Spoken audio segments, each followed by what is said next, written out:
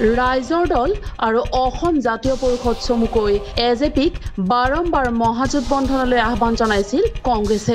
প্ৰথমে ৰাইজৰ দল আৰু এ জে পিৰ সঁহাৰিৰ বাবে অপেক্ষা কৰিছিল ৰিপুণ বৰাই। পিছে অপেক্ষা কৰি কৰি ভাগৰ লগাত এইবাৰ নতুন ৰাজনৈতিক দলসমূহৰ অস্তিত্বক নস্বাত কৰিলে কংগ্ৰেছে। দুহেজাৰ একৈছৰ নিৰ্বাচনত নতুন ৰাজনৈতিক দলসমূহে মুখ থেকেচা খাব বুলি মন্তব্য কৰিছিল সাংসদ প্ৰদ্যুৎ বৰদলৈ। তেওঁলোকে নিজেও নিজেও মুখ থেকেচা খাব। কাৰণ এতিয়া এই প্ৰতিযোগিতা যিটো ৰাজনৈতিক প্ৰতিযোগিতা তাত প্ৰতিদ্বন্দ্বিতা হ'ব বিজেপি আৰু কংগ্ৰেছৰ মাজত। গতিকে এই সৰু সুৰা দলবিলাকে চাওক যে তেওঁলোকৰ যিবিলাক আদৰ্শ আছে তেওঁলোকৰ যিবিলাক ইছ্যু আছে সেইবিলাকৰ লগত কায়ু মনো বাক্যে কোনে তেওঁলোকৰ লগত আছিলে? গতিকে তেওঁলোকে তেনেকৈ উপযুক্তভাৱে বিবেচনা কৰি তেওঁলোকে নিজৰ পাৰ্টনাৰ বিচাৰি লওক।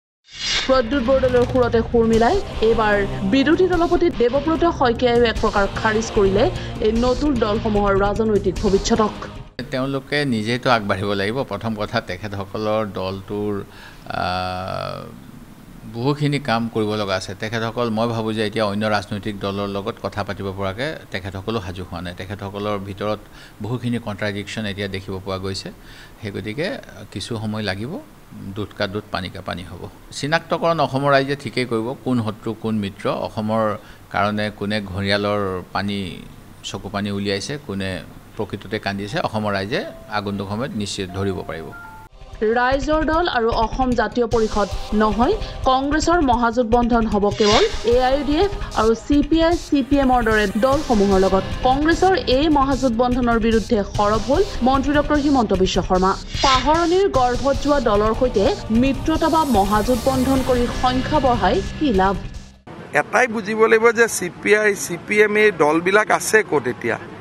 এতিয়া এইবিলাক দল উঠাই আনি ৰিপুণ বৰা ডাঙৰীয়াই সংখ্যাটো বঢ়াব খুজিছে।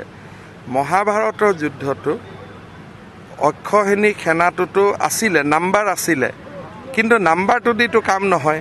গতিকে যিমানকেইটা দল জোটাই পোটাই আনিব সিমানে খেলি মেলি লাগিব কাজিয়া লাগিব আমাৰ ভোট বাঢ়িব।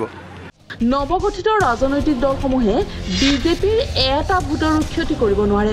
সত্তৰটা সংগঠনক লৈ গঠিত হোৱা নতুন ৰাজনৈতিক দলেও বিজেপিৰ নো এডালকে লৰাব নোৱাৰে।